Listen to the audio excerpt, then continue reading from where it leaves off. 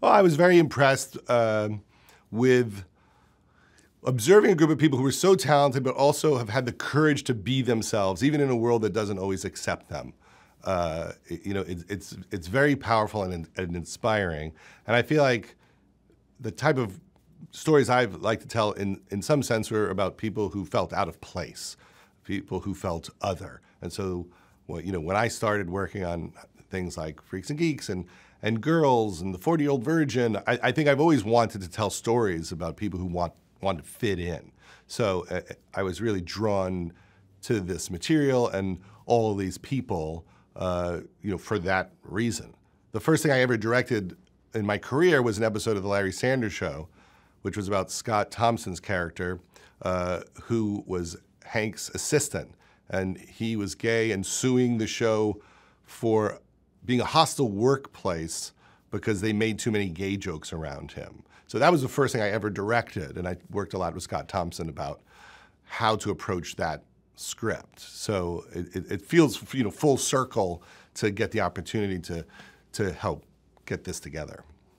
I think the balance of comedy and, and drama and romance works when it's just organic. If you set up someone's problem, their resistance to relationships, why they've had problems, and then you just set up obstacles. The obstacles are usually funny. I mean, any bad date is funny. Any bad romantic uh, attempt that falls apart is funny. And I've always thought that you can be grounded and broad at the same time because people are really weird and people make giant mistakes and people are silly and you, you can be real and do stuff that's pretty outrageous. So I feel like when your heart's there the whole time, it, it really holds the romantic part of it together. I think the main thing is that Billy means it. You know, it's like a very heartfelt story and performance. Well, Billy had an idea of a type of person when he was writing uh, with Nick, uh, and we, we read a lot of people, and then you know Luke came in, and suddenly every single joke worked.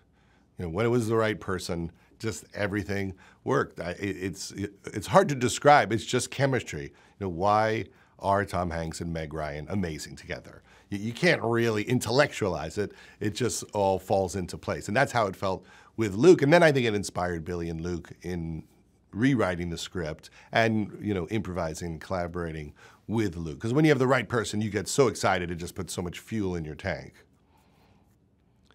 I think they wanted to have a moment where Billy would allow himself to be vulnerable and really tell his personal story and talk about his pain and his journey, uh, you know, with Luke.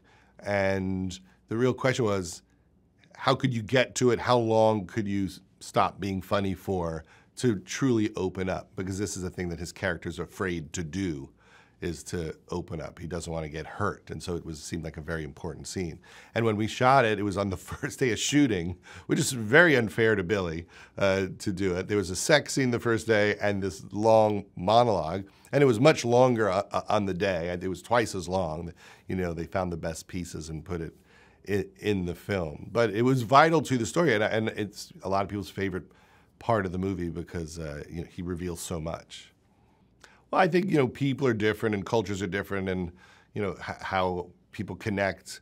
But to me, it's it's all the same thing. You have to put yourself out there. We're all terrified to do it. We're all terrified uh, to risk somebody hurting us, being abandoned or being left or broken, or it, it's it's brutal. I mean, it's just it's hard to take those chances to hope to find the right person. So I always thought it was universal. I, I, mean, some of the details of how you get there might be different of what the, the dating world is like and all of that. But I, I think, you know, the heart stuff I think is exactly the same.